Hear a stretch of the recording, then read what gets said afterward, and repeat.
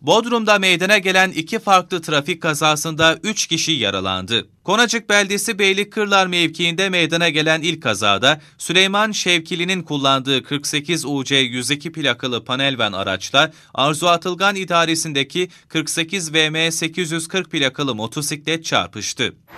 Ben ben dönemedim.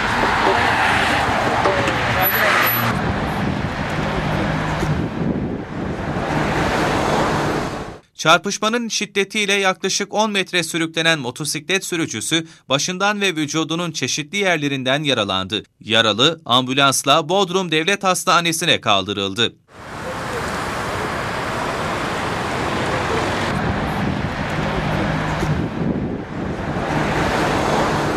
Diğer kazadaysa Oya 9 Can idaresindeki 48 VT 846 plakalı otomobille Muhittin Beydilli'nin kullandığı 48 VL 868 plakalı motosiklet çarpıştı.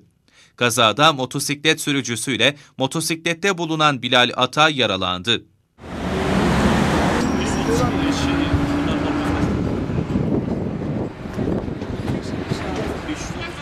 Her iki yaralı da çarpmanın şiddetiyle karayoluna savruldu. Yaralılar olay yerine gelen ambulanslarla Bodrum Devlet Hastanesi'ne kaldırıldı.